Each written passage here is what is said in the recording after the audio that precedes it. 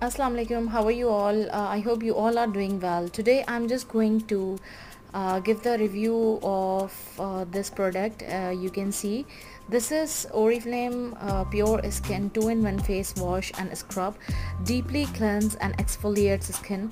Uh, detect technology plus salicylic acid and pomegranate extract. It is 150 ml and you can see the packaging. And this is for acne prone skin. It is double action. Uh, this is um, face wash as well as a scrub. And I can just show you the texture of this.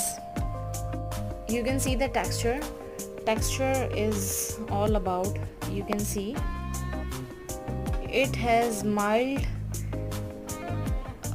uh, mild beads of the scrub uh, which doesn't harm your skin and it is really nice. So I uh, really like this scrub and I just want to share my review with you all and it is really good.